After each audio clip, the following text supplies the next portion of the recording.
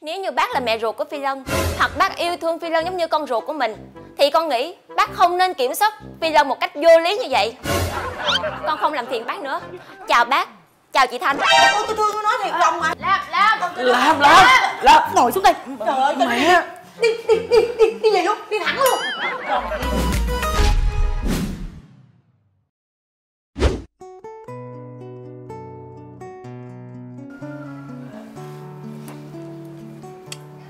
Thôi mà, đừng có giận Lân nữa mà. Tại mẹ Ngọc coi Lân như là con ruột Nên mẹ Ngọc mới hỏi làm khó như vậy đó. Thôi, bỏ qua cho nó Lam cứ tưởng á là Lân thẳng thắn lắm. Ai về trước mặt mẹ Ngọc Cũng im re Để cho một mình Lam chịu trận à. Mà bác ấy cũng có phải là mẹ ruột của Lân đâu. Sao Lân sợ bác dữ vậy? Thì chính vì là không phải là mẹ ruột Nên Lân sợ nói những lời không phải Làm mẹ Ngọc buồn. Thôi, bỏ qua cho Lân lần này đi mà Lam tin Lân đi. Mẹ Ngọc tốt lắm. Chắc chắn mẹ Ngọc chỉ hỏi như vậy Để dò xét Lam thôi mà. Tốt. Lam chưa từng thấy một người tốt nào mà lại khắc khe như vậy hết. Lam thấy rõ là Lam không có hợp với mẹ Ngọc của Lân đâu. Là mà Lam phải tin tưởng Lân chứ. Lam biết không? Mẹ Ngọc á hả muốn Lân kiếm được một người vợ hoàn hảo Nên mẹ Ngọc mới khó như vậy đó. Thôi yên tâm đi. Lân sẽ cố gắng nói cho mẹ Ngọc hiểu. Mọi chuyện cứ để Lân lo Bây giờ Lam cứ coi mẹ Ngọc như là mẹ ruột của Lân vậy đó. Vậy Lân hứa Lân phải lo tốt chuyện này đó nha.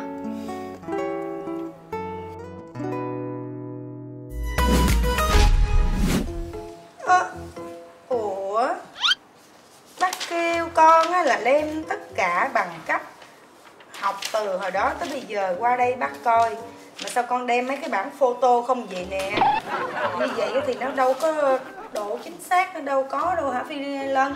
Với lại chưa kể. Toàn là photo. Nếu mà con photo phải ra phòng công chứng chứ Để cho biết đây là bản gốc chứ con. Vậy độ chính xác không bao giờ đúng rồi ha Đăng Anh. Mẹ ơi, Ừ. đem qua cho mẹ coi thôi chứ đâu có xin việc làm đâu công chứng chi mẹ. Đúng rồi đó mẹ. Với lại mấy cái này bằng tiếng Anh không mà Mẹ có còn con dịch qua tiếng Việt không? Dạ đúng rồi đó mẹ, chứ coi mà không biết gì coi chi mất công. Nè Để mẹ nói chuyện Dạ.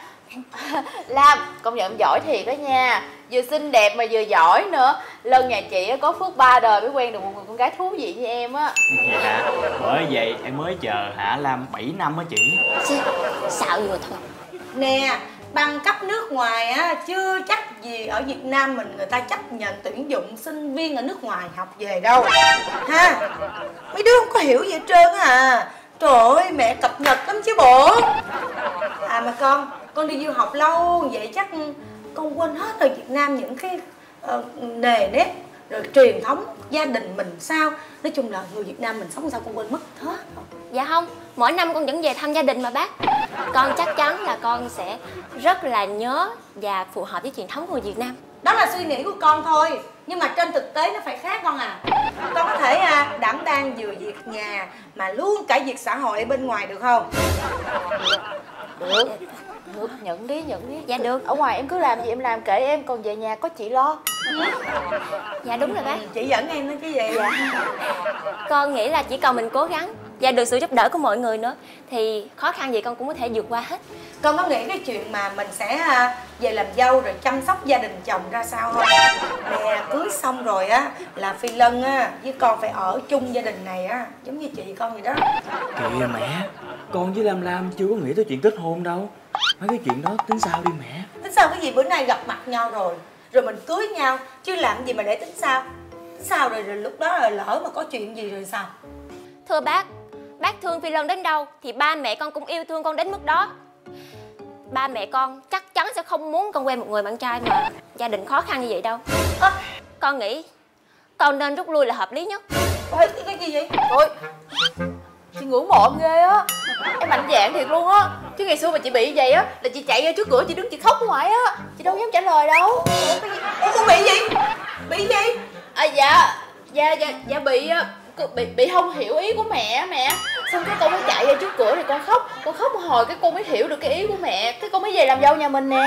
Ơi, mẹ cũng đâu có biết là có chuyện đó đâu. Tại vì mẹ nghĩ là mẹ mẹ ngày đầu tiên mẹ gặp Rồi sau đó gặp lần hai lần ba mẹ chỉ dạy con thôi Chứ mẹ đâu có cái gì đâu mà để dùng chữ bị. Dạ thì thì là bị không hiểu thôi mẹ? Dạ, con thấy không rõ ràng là chị dâu của phi lân nè, hiểu tính của bác nè, rồi cái gia đình hòa thuận nhau, sống an hòa nhau, yêu thương đầm ấm với nhau. Cho nên, bác mới nói với con cái gì mình mất lần trước được lần sau.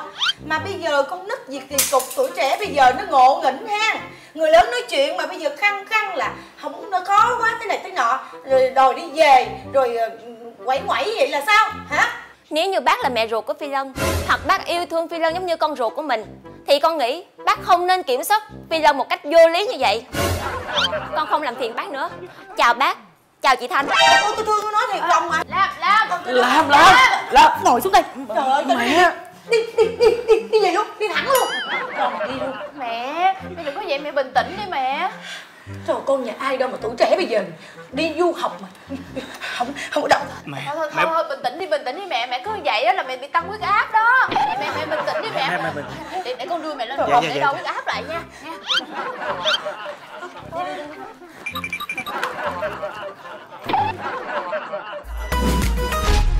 Lân đừng có nói thêm bất cứ cái gì nữa. Lam sẽ không bao giờ quay lại căn nhà đó một lần nào nữa đâu. Thôi mà Lam bình tĩnh lại đi Đừng có nóng nữa mà. Trời cái gì vậy hai đứa? Cái gì mà tới quán nước của anh mà tôi lộn um sùm vậy? Uống miếng nước hoa quả đi. Nè uống đi. Phải cái chuyện gì mà Thôi tiếp rồi. Anh biết á là dì Ngọc rất là khó tính Thấy không? Nhưng mà nghe lời anh Trên đời này Dạng vật Tương sinh tương khắc Cái gì nó cũng có cách giải quyết của nó hết.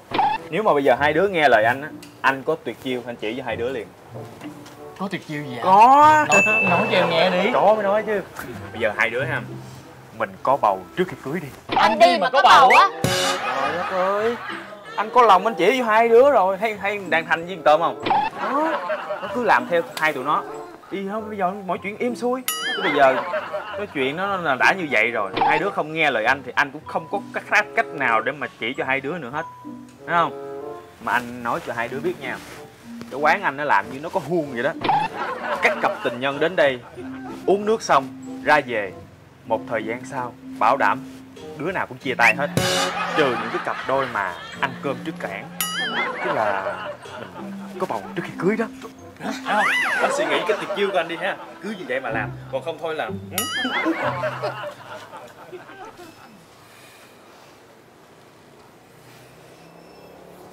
Lam mà Đừng có vậy nữa mà. Lam Lam không biết là Lân đã chờ đợi Lam lâu lắm rồi hả? Cả thanh xuân của Lân là đợi một mình Lam thôi đó. Mà bây giờ Không lẽ mấy người bỏ tôi hả? Tôi không biết gì đâu nha. Cho dù á Bác Ngọc có chấp nhận Lam Lam cũng sẽ không bao giờ sống chung với bác ấy được. Lam không thích sống chung với nhiều người Càng không thích bác Ngọc. Lam à Lam cũng biết cuộc sống gia đình của Lân hồi đó rồi đó. Hồi đó có hai mẹ con à Bây giờ Mẹ mất Thì Lân lủi thủi sống con mình Hên á là được mẹ Ngọc kêu về nuôi. Với lại mọi người trong gia đình đó Đều là người tốt mà. Thôi Vì Lân một lần này đi Nha. Không ngờ riêng chuyện đó Lân lại khác với Lam như vậy. Thì Lam cũng biết rồi đó Do Lân thiếu tình cảm từ nhỏ Nên Mà thôi đi. Thôi Lam vì Lân lần này đi Nhún nhường mẹ Ngọc một chút nha Không. Lam không để cho bác ấy coi thường Lam thêm một lần nào nữa đâu. Thôi Mình chia tay đi. Lam. Trời ơi Công nhận tôi nói linh thiệt á. Thấy chưa? Tôi kêu rồi mà không chịu nghe. Kêu có bầu đi. Thấy không? Giờ chia tay rồi. Bởi Đăng Thanh Tả vậy em không hề sai chút nào hết. Nói em đẹp trai nè Học giỏi, cao ráo. Mà cái bị ế. Anh, anh thôi đi anh chọc em hoài à.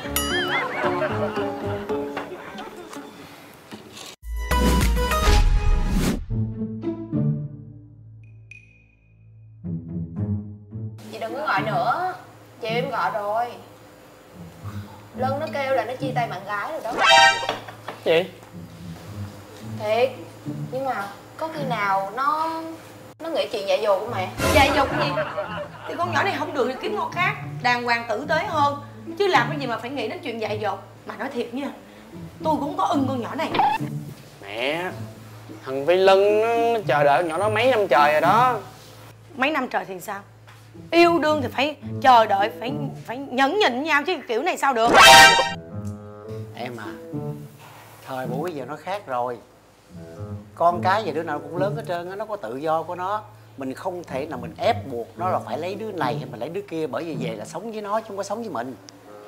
À nói vậy là ý là em không có quyền xen vô. Em không có ý kiến cái còi gì được chứ gì. Nó muốn yêu ai nó thương ai mặc kệ nó gì. Được rồi từ hôm nay em không bao giờ xen vô.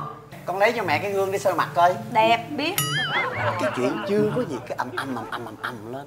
Anh nói thiệt cái con nhỏ đó mà nó thấy mặt em nó không sợ quá anh cười gì nè em xen vô chuyện của ê lân Dạ, chào Ờ, cả nhà. đói bụng không? Chị dọn cơm ăn nha. Ừ, Dạ thôi, em không đói đâu. Em lên phòng nghỉ trước nha. Khoan đã phi lân. Mẹ hỏi. Lại đây mẹ hỏi. Trước mặt ba con kìa con nói đi. Có phải là mẹ cấm cản mẹ ngăn cản gì con yêu cái con bé lam lam đó không? Mẹ có cấm không? Dạ không. Đó nghe rõ không? Dạ không. Thấy chưa? Đừng có đổ thừa em nghe chưa anh? Thôi đừng có buồn nữa. Mẹ khuyên con á không có nó thì tìm đứa khác để mẹ tìm cho. Chuyện nó dễ dàng hơn bạn của mẹ hả? Nhiều đứa anh. Con á nó xinh xắn dễ thương ngoan ngoãn giỏi giang học hành tử tế. Đó mẹ làm mai cho con. Ừ, Dạ thôi mẹ con không cần đâu. Con không yêu ai ngoài Lam hết á. Thôi gì? con xin phép. Con lên phòng trước. Ủa nó nói vậy là sao con? Là tụi nó chia tay nhau hả? Mẹ ơi ý nó quá rõ luôn á. Nó rất là yêu lam lam. Cho dù lam lam có bỏ nó đi chăng nữa nó cũng sẽ ở nhà này nó chờ đợi lam lam cho tới già tới chết tới khô tới héo. Con thấy á là phi lân là số 1 luôn á. Đàn ông như vậy chứ chất chất cái gì? Đi lên lầu. Thiệt. Nè đăng thanh mẹ hỏi nè. Dạ. Con gặp con bé lam lam hai lần. Con thấy nó là sao? Dạ con thấy á lam lam là một người xinh đẹp nè giỏi giang lại tốt tính nữa. Là lam lam với lân á là hai người yêu nhau rất là thật lòng. Ý con nói như vậy á là mẹ khó khăn với con nhỏ đúng không? Phải mẹ nhưng mà ý con là trong tình yêu á mẹ cũng đừng khắc khe quá. Tại tình yêu đâu có tội lỗi gì đâu. Với lại á lam với lân á là hai đứa yêu nhau rất là thật lòng. Hai đứa vừa học giỏi này vừa hợp tính tình với nhau nữa mà mẹ. Đúng rồi đó mẹ tình yêu không có lỗi lỗi đứa bạn thân thôi. À đúng đúng. À tôi hiểu mà à tại ngày xưa đó tôi chọn dâu á, cho thằng tôm á, tôi bị thụ động mà. Tôi đâu có chủ động được đâu.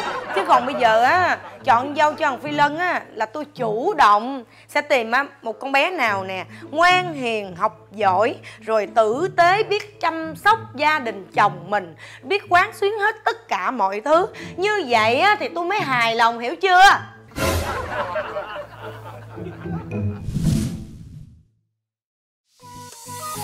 Là một ngày đẹp trời ánh mang mang về đây là bao tia nắng. Đẹp dịu dàng và thật lung linh, xinh thật xinh là em. Và một người ngập tràn yêu thương, bên cạnh anh từ khi thơ bé. Người từng ngày tạo tần chăm lo, xin gọi tên mẹ